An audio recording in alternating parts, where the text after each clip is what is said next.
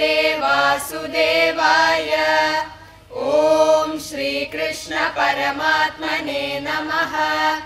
अथ पञ्चदशोऽध्यायः। पुरुषोत्तमयोगः। श्रीभगवानुवाच।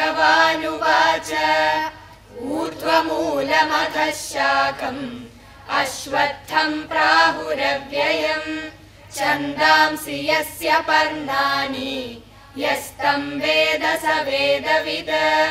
अधश्चोर्ध्वम् प्रसृतास्तस्य शाखाः। गुणप्रवृद्धा विषयप्रवालाः।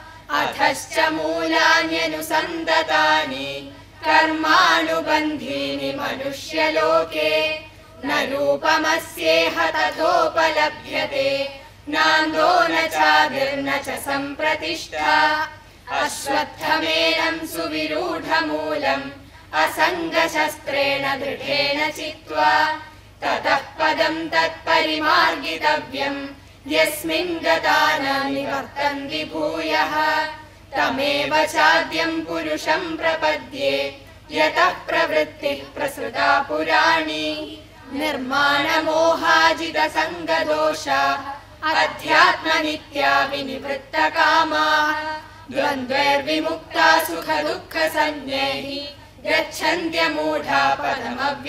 तत् न तद्भासयते सूर्यः न शशाङ्को न पावकः यद्गत्वा न निवर्तन्ते तद्धाम परमम् मम ममैवांशो जीवलोके जीवभूत सनातनः मनः षष्ठानीन्द्रियाणि प्रकृतिस्थानि कर्षति। शरीरम् यदवाप्नोति। यच्चाप्युत्क्रामतीश्वरः गृहीत्वैतानि संयाति। वायुर्गन्धानि वाशयात्। श्रोत्रम् चक्षुस्पर्शनम् च। रसनम् घ्राणमेव च। अधिष्ठाय मनश्चायम् विषयानुपसेवते। उत्क्रामन्दम् स्थितम् वापि भुञ्जानम् वा गुणान्वितम् विमूढानानुपश्यन्ति। पश्यन्ति ज्ञानचक्षुषः। यतन्तो योगिनश्चैनम् पश्यन्त्यात्मन्यवस्थितम् यतन्तोऽप्यकृतात्मानः नैनम् पश्यन्त्यचेतसः। यदादित्यगतम् तेजः जगद्भासयतेऽखिलम् यच्चन्द्रमसि यच्चाग्नौ तत्तेजो विद्धि मामकम्। गामाविश्य च भूतानि। धारयाम्यहमोजसा उष्णामि चौषधी सर्वाः। सोमो भूत्वा रसात्मकः। अहम् वैश्वानरो भूत्वा। प्राणिनाम् देहमाश्रितः। प्राणापानसमायुक्तः। पचाम्यन्नम् चतुर्विधम् सर्वस्य चाहम् हृदि सन्निविष्टः मत्तः स्मृतिज्ञानमपोहनम् च। वेदैश्च सर्वैरहमेव वेद्यः। वेदान्तकृद्वेदविदेव चाहम् द्वाविमौ पुरुषौ लोके क्षरश्चाक्षर एव च।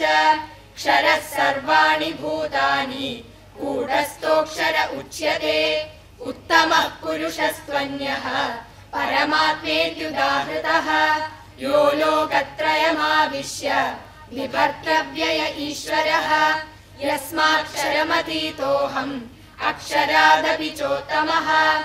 अतोऽस्मि लोके वेदे च प्रथितः पुरुषोत्तमः। यो मामेवमसम्मूढः। जानाति पुरुषोत्तमम् स सर्वविद्भजति माम्। सर्वभावेन भारत। इति गुह्यतमम् शास्त्रम्। इदमुक्तम् मया नख एतद्बुद्ध्वा बुद्धिमान् स्यात्। कृतकृत्यश्च भारत। ॐ तत्सत् इति श्रीमद्भगवद्गीतासु उपनिषत्सु ब्रह्मविद्यायाम् योगशास्त्रे श्रीकृष्णार्जुनसंवादे पुरुषोत्तमयोगो नाम पञ्चदशोऽध्यायः